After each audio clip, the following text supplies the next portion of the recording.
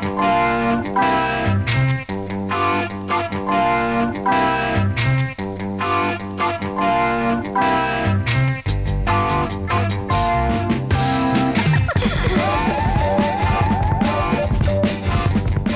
amigos, eh, soy Furillo, estoy en la librería Finestres.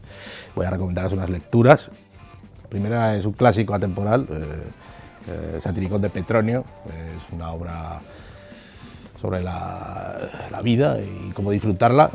llegué a ella por, por Krum, que es uno de mis ídolos, y me gustó mucho cómo describía el, banquete de, Trimalcho y, era una gozada, de, cómo zampaban aquellos, romanos. En fin, eh, disfrutar de la vida.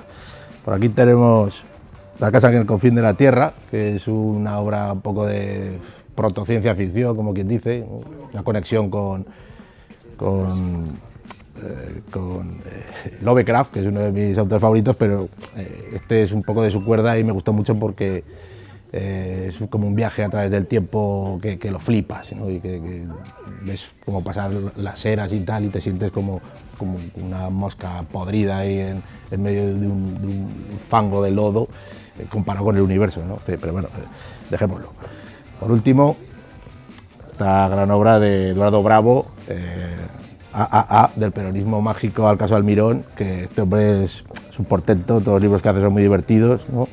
Eh, en fin, eh, yo soy un gran lector de dominical más que de libros, entonces cuando tú lees un, artículo de un dominical, dura cuatro páginas, te quedas con las ganas, pues esto es como leer un artículo que te ha interesado y que no acaba, no acaba, bueno, al final se acaba, claro, y quieres más, ¿no? por eso leeros todo lo de Eduardo Bravo.